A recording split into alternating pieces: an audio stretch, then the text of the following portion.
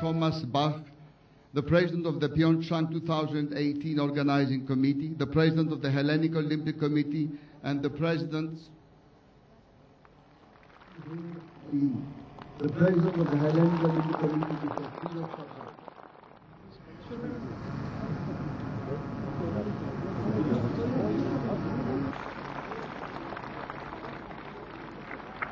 Θέλουμε ελευθερώστε το χώρο. Please keep clear.